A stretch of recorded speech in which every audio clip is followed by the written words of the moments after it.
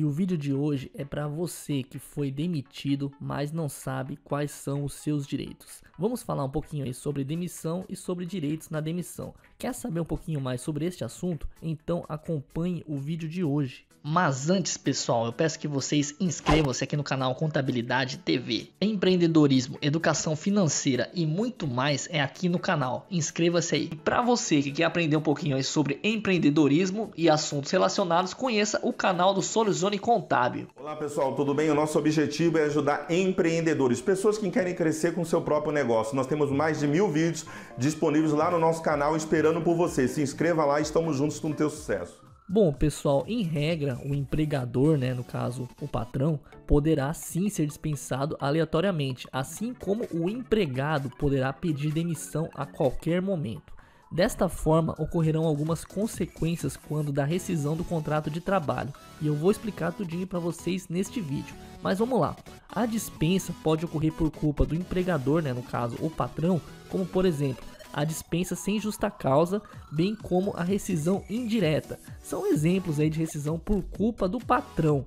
E também quando o empregado sofre assédio moral, perseguição e humilhações, ou também assédio sexual aí. Aliás, que é um tema que merece um vídeo exclusivo aí para ser abordado, né?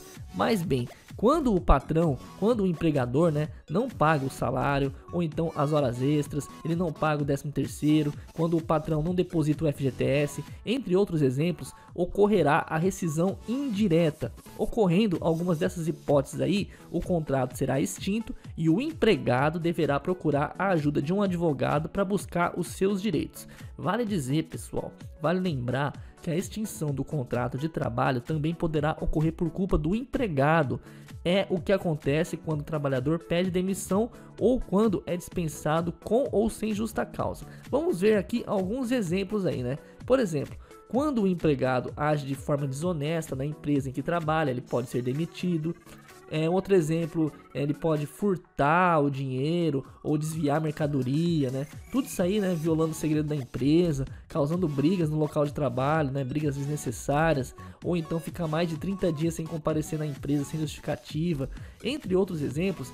Neste caso, o funcionário aí, né? O empregado poderá ser demitido por justa causa.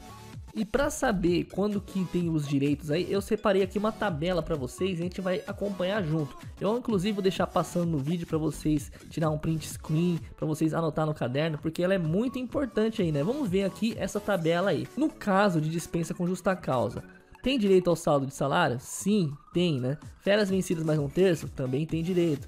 Depósito do FGTS?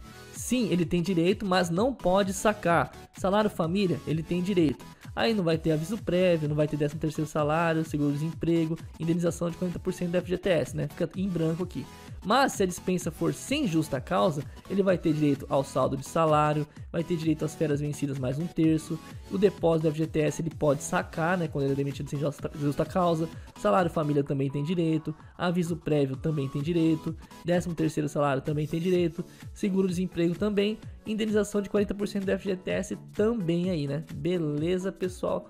Agora vamos ver aqui no caso de um pedido de demissão. Ele vai ter direito ao saldo de salário, tem direito a férias vencidas mais um terço, depósito do FGTS ele tem direito, mas não pode sacar. Aí fica aqui em branco salário família, aviso prévio, ele vai ter direito só ao 13 terceiro salário, nessa hipótese de pedido de demissão, seguro-desemprego não, indenização de 40% do FGTS não. Agora, no caso uma rescisão indireta, como já expliquei aqui no vídeo, né? Uma rescisão indireta, aí ele vai ter direito a tudo aí, né? Saldo de salário, férias vencidas mais um terço, depósito de FGTS, salário família, aviso prévio, 13 terceiro salário, seguro-desemprego e indenização de 40% do FGTS. Então ele tem direito a tudo no caso de uma rescisão indireta. Repare que, né, quando tem uma dispensa com justa causa, ele já não tem tantos direitos, né? Já uma rescisão indireta, ele tem direito a tudo. Afinal, é culpa do patrão, né? É culpa aí da empresa. E daí por diante, né, no caso de parar por aposentadoria você segue essa tabela aqui, né? No caso de cessação por morte do empregado, direitos por herdeiros, aí você segue essa tabela aqui, né? A morte do empregador, pessoa física ou extinção da empresa é muito semelhante à rescisão indireta, como não é culpa do empregado e sim da empresa, né? Que infelizmente veio a se extinguir, enfim, né, ou morte do patrão, no caso, aí você tem como empregado direito a tudo também, né? Assim como uma rescisão indireta. Um mútuo acordo, né? Você vai ter direito ao saldo de salário, férias vencidas mais um terço depósito do FGTS, só que não pode sacar o FGTS. No caso de culpa recíproca, né? Receberá 50% das verbas, como você pode ver nessa tabela, e do advento do termo tá aqui.